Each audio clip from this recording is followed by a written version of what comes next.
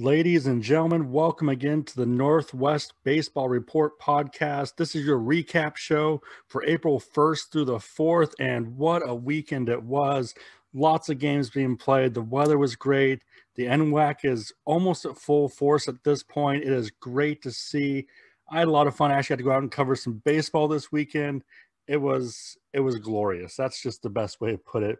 Guys, before we jump into things, I do want to say thank you to my sponsor, Portland Baseball Club. Uh, they are they came up big trying to help out, get the Northwest Baseball Report going, being able to help fund the cost of this podcast right here, to be able to cover the cost of the site. Um, it, it, was a big help. Still looking for more sponsors out there. Um, every sponsor I get helps me do more with the site, get to more games. But you know what? Just having Portland Baseball Club you know, being a sponsor, being a supporter has made a big difference already. Just in the first month and a half of having the site, uh, it's been it's been really nice. It's been really encouraging, and I just want to thank them. There's a link down in the description below. So if you're in the Portland area and you're looking for a summer team, fall ball, or even just a place to get opportunity to train during the off season, check them out. They have an indoor facility down in Tualatin, uh, right outside of Portland. So check them out. If nothing else, guys, tell them thank you because once again, you know, I'm doing this really for free in essence. This isn't my job, although I have found that I'm putting about 40 hours in a week trying to get everything lined up. Um, so having sponsors is the difference between me being able to keep going with this uh, versus you know struggling. It's it's that simple. So thank you to them. Thank you to anyone else who's thinking about it. Uh, I also have Patreon for individuals who want to support the the uh, the site and everything, help me get out to more games. So a number of different options, whether you're a business or an individual, um, there's ways to support Northwest Baseball uh, Report. Guys, second thing I want to talk about is the fact that, hey, if you're out there and you're a college student, or even if you're not a college student and you just want to write sports articles, you want to help cover baseball in the Northwest, let me know. Uh, I, I spent a lot of hours putting together the recap uh, for this weekend for both articles.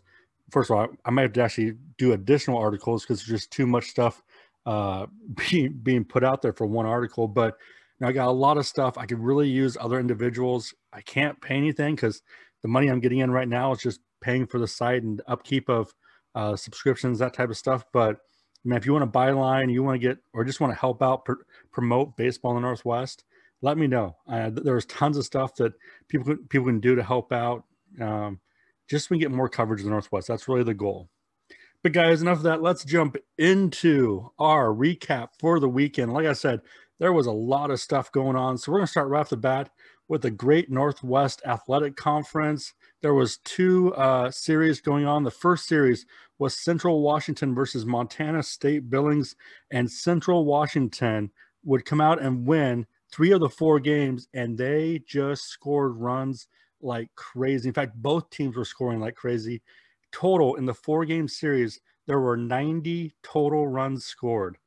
The game scores, listen to the game scores 21 15, 7 to 6, 10 to 9, and 17 to 5. So the offenses were going crazy. They were hitting the ball. Uh, Tyler McLean from Central Washington, he drove in eight runs over the weekend. Uh, he had two home runs. That's that's a big that's a big weekend. That is that's awesome to see. So we got that going on. Uh, the other matchup over the weekend was Western Oregon versus St. Martin's, and Woo would sweep the weekend. They would get out there. They'd have some great pitching performances. Uh, Mike Peterson would go eight innings, striking out nine, only allowing one hit in his outing. Uh, his record is now three and zero. Oh. So, you know, they've got some good pitching down with Western Oregon. You know, getting that sweep is big. It helps them out. And right now in the GNAC, the standings are Northwest Nazarene still in first place. They had a, a weekend off. They're 11 and 1 in conference, 17 and 3 overall. Uh, Western Oregon is in second place at 9 and 3 in the conference. Central Washington at 6 and 6. Montana State Billings at 5 and 11. And St. Martin's in conference is 1 and 11. So, guys, let's move on to the next conference, and that is the Northwest Conference. They had four different matchups going on this weekend. The first was Puget Sound versus George Fox, and George Fox would win the series, winning three out of the four games. And that actually kind of pushes them up into fourth in the conference. Uh, they've been kind of lingering in the middle, lower half to start the season, but uh, George Fox is coming on a little bit stronger lately and actually has a chance to uh, really kind of make a play towards the end of the season for um, the end of the season tournament and see how things go. Uh, but once again, they came out, they won three out of four, did the, did what they had to do. They had to get out there and, and produce, and, and they're doing that. Another matchup out of the Northwest Conference Whitworth versus Pacific, and Pacific would take three out of four. They're having a pretty strong season right now. And it doesn't hurt when you have someone like Chase Anderson, who had a monster weekend from the leadoff spot. He had nine hits, three home runs, scored eight runs, and drove in 11 runs. That's your leadoff hitter for Pacific. That that is unbelievable. That is a tremendous weekend for Chase Anderson. Um, so fun to see that. You know, hopefully at some point I'd love get down there and cover Pacific. They're not too far away from me. Um, so that's the goal. See what happens. Third matchup of the weekend for Northwest Conference was Whitman versus Linfield, and Whitman needed to um, really keep pace with Pacific in order to be at that first place and and keep going on for the uh, regular season title. And they would win three to four as well, uh, going in there. Had right now they are tied percentage points, winning the winning percentage. Uh, I think they're both uh, 750 is their winning percentage percentage in conference. Uh, Whitman did have last week off, so they actually are a few games uh, less than what Pacific's played so far in conference. But right now, those two teams right at the top, they're playing well. And for Whitman, uh, Garrett Runyon had five hits, had a home run, collected four RBIs. So doing what they need, doing what they need to do to keep uh, keep in the race for first place in the regular season. Last matchup that happened in the Northwest Conference uh, was Lewis and Clark versus Willamette. And both teams really needed this weekend to really kind of propel them through the rest of the season, to really kind of get them into a good spot. And it'd be Willamette who would end up taking this series three to one. And they're actually up into third place right now in the division. And so this was a big weekend for them. Uh, Ethan Fishkill had four home runs on the weekend, uh, collecting seven total hits, driving in 11 runs. Samuel Daly had nine hits, two home runs, drove in six runs. So uh, big weekend for those two guys for Willamette. So right now, as I kind of mentioned, the standings for the Northwest Conference Pacific, first place are 12 and four in conference. Whitman at second, are technically tied for winning percentage, uh, nine and three in conference. Willamette is nine and seven. George Fox is six and five. Pacific Lutheran uh, is six and five. And Pacific Lutheran actually played uh, Seattle University in kind of just a, um, I don't know, a, a non-conference game and took them to extra innings. They did a good job uh, competing against that Division One school. Uh, Whitworth is five and seven. Lewis and Clark is six and ten. Puget Sound five and nine, and Linfield uh, rounding out the conference at three and eleven. So, guys, let's jump into the uh, next conference. That's the Cascade Collegiate Conference, where there were two matchups this weekend. LC State uh, took on Oregon Tech, and LC State is a top-ranked team, and they showed it off this weekend. Uh, they scored a minimum of 12 runs in every game this weekend. Uh, Matt James would hit three home runs over the weekend, had 10 hits, seven runs scored in the sweep. Uh, so LC State just, you know, showing their dominance and making a push to be um, really one of the top competitors going to the national title run at the end. Uh, also, this weekend was Corban versus the College of Idaho, and Corban would, would go into Idaho and actually split with them. That's not a bad. Um, when you go on a road trip that far away, getting a split's not not the worst thing to do. So uh, they went in there. Demick Wood from College of Idaho uh, did pitch a complete game, striking out ten, only gave up three earned runs, uh, getting a victory for him. And then uh, Nate Martin from Corban would go have a pretty good outing, going seven and a third innings, only allowing one run. Uh, he'd get a win. And then Zach Simon, who has been on a tear this year, he has a five and two record. He actually pitched a complete game, only allowing one earned run. So Corban's got some pitching. You know, they've got some pitching down there. They've got some um, ability to go deep into games and give their team a chance. And and honestly, you know, that's that's what you got to ask from your pitchers. If they can do that, your team has a chance to be in every game. But guys, let's let's check on the standings for that conference.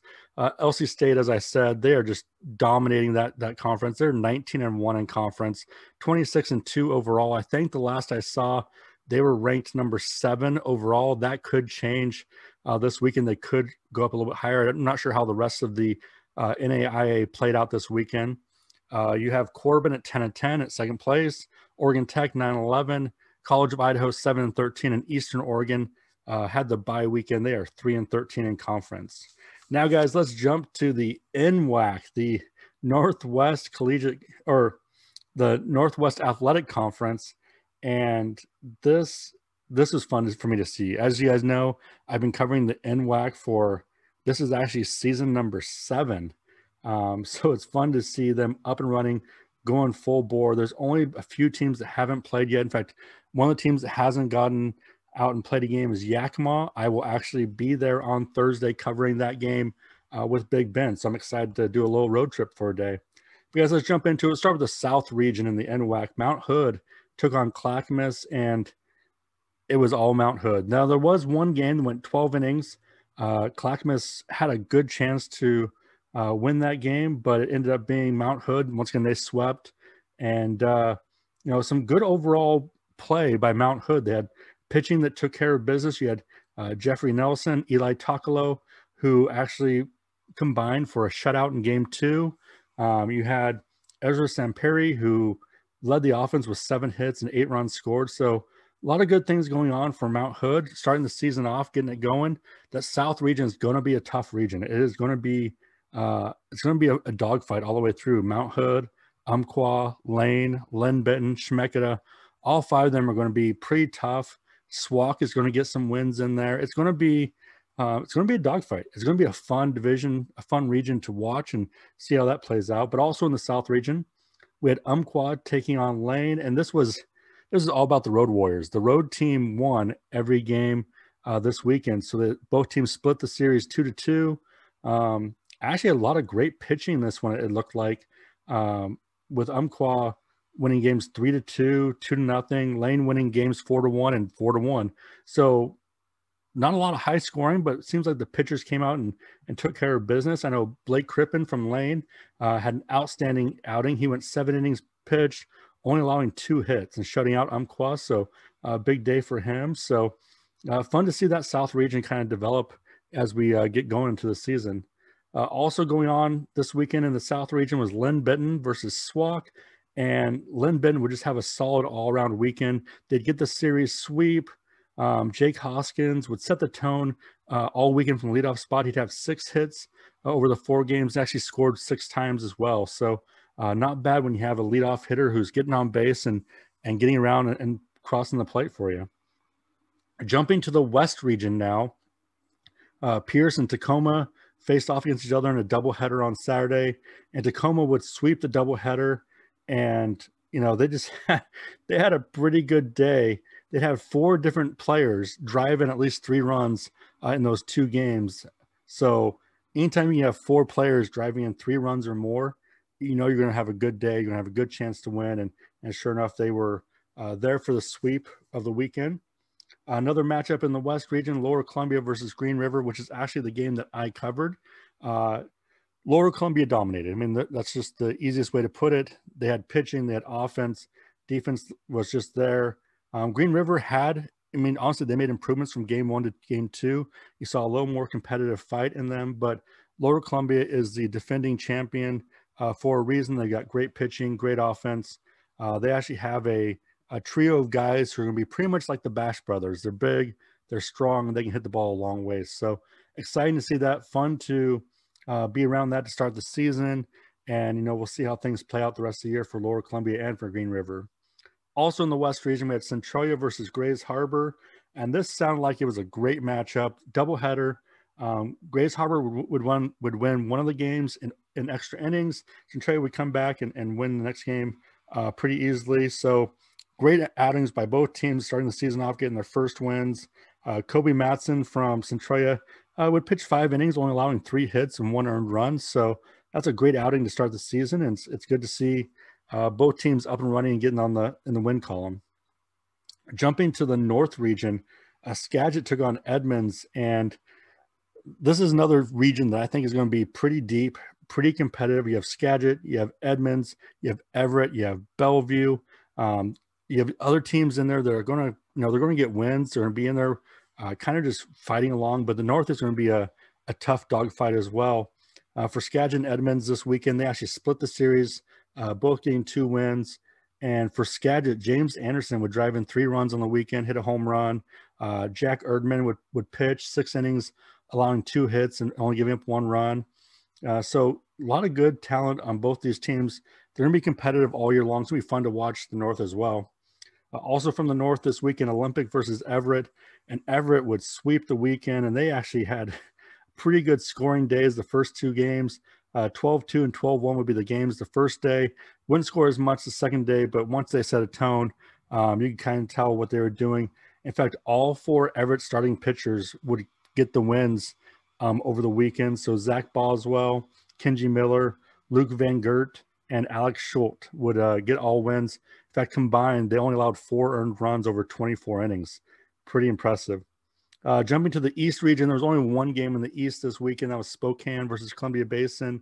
And Spokane would come out and sweep Columbia Basin. They'd have some great outings on the mound, led by McCabe Cottrell, who, uh, if you're going to follow this this channel, this podcast, you're probably going to hear that name come up just about every weekend uh, if he pitches. He is probably the most dominating pitcher in the NWAC this year, in my opinion. He just has a ton of stuff. Great from the left hand side. Throws hard. Secondary stuff is really good. Been able to see him pitch a couple times. Uh, he's the real deal. And in fact, he went eight innings, struck out 16, only allowed two hits.